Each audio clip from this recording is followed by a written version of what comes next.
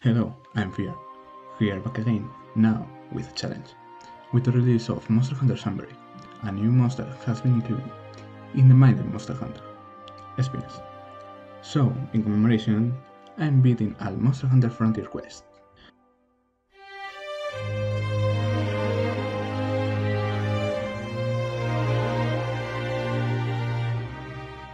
Here are all the rules. I have to beat all the Hunter Quest, Exotic, Burst, Conquest, Shiten and Zenith Quest. I have to kill all the monsters at least once. That includes White Fatalis and Duremudira. I can use Magnet Spike, I can use Chickshop uh, to be gathering materials, parts of monsters already beaten, checkers, uh, curves and decorations. I can use Legendary Rasta nor Premium Cards. I can use Gacha coins to increase the rank to max. That is said, let's create a character and choose a weapon. I'm going to play with the Dual Blades because they are god in status and elemental damage. And in late game, I'm going to be able to abuse this a lot. I start with the one star quest. Instead of starting from the top, I'm starting from the bottom. The first quest is to hunt some Felynes. This quest is an arena quest and is a real fun one. Felynes and melings die with one hit, and in the arena are two Velocidrome, with cannons of damage the slippery cats. After they steal all my items and listen to the Bang Arena song,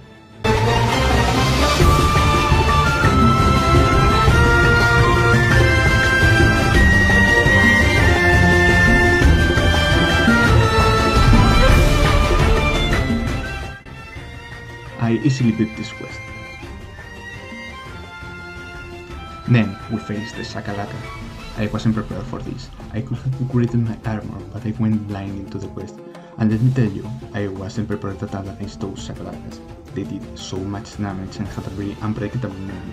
It cost me a few deaths I managed to craft a strategy to beat them without taking much damage. However, when I thought I have already finished the quest, a bunch of Shakalaka were waiting me inside the cave. What? No. But I managed to defeat some of them, and with that we finished the awful quest. After that, I decided it was time to get an upgrade. I grabbed some nice blades, and with a rookie hunter armor which increases my weapons attack, and gives me the ability to detect large monsters. Next, I go on a killing spree, killing every small monster. Iodrake, Gamedrake, Hermitaur, Conga, Bullfango, Velociprey, Hornetaur and Vespoid, all defeated by the Icy Blade. I change my clothes and go to collect some intel about the thongs by delivering some maps. After that, I have to deliver some items. The first one are two eggs. I go to a Velociprey nest to gather them, and I easily get them to the camp.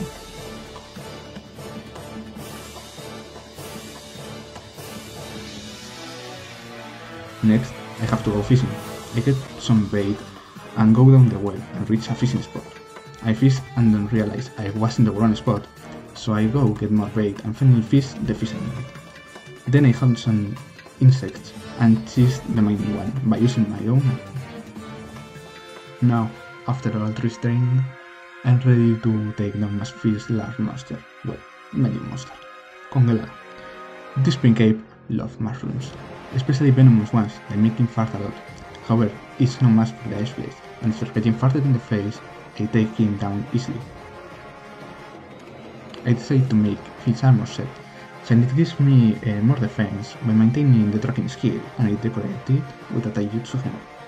Then I fight Velociprey with a no chance me, and get easily defeated. So I go and slime Bulldrome too. Gendrome gets stuck on one of my cat's Chaos trap, and is quickly defeated. Cephadrome is my next opponent, I hate this monster, so I decide to stun him by kicking his legs until he falls into the ground and dies. He is in his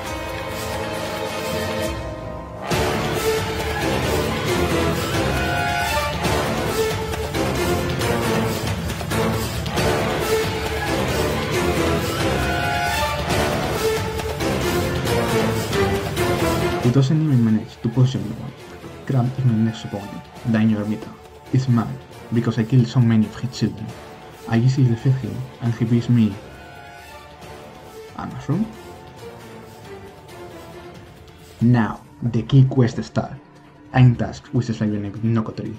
This orange bird put a, puts a good fight. It managed to hit me a lot with his tail swing. I continue moving and swinging my blades at him, avoiding all his sleeping gas, and I finally take him down. With this, I can make his armor set.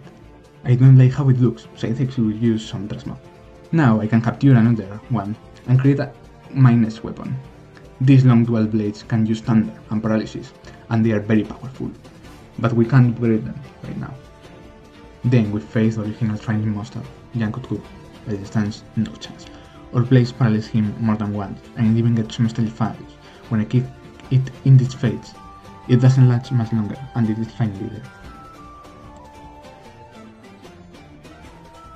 So now we are facing the last one star quest monster, the massive crab, Taikun Zamuza. This crab is covered in math and it has two different claws. One is like a hammer and the other one is like a blade. I start breaking the map by doing so spreads the math in the air and blinds me so I can see I can't see what it is. I manage to break more math and he finally rages, breaking the ground beneath him, and we fall into a deeper level of the cave. However, it couldn't hold any more longer. It was already so weak, and it only took me some swings to finally end life.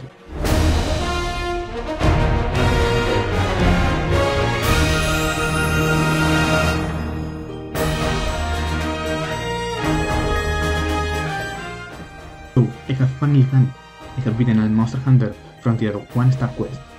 Eh, what are you telling me? This is an urgent quest? A new monster is making a rampage in the forest? Do not worry, I will take care of him.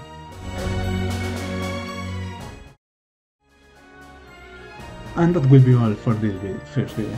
If you like it, remember to leave a like and subscribe so you don't lose the next video, where I take care of all the 2 star quests.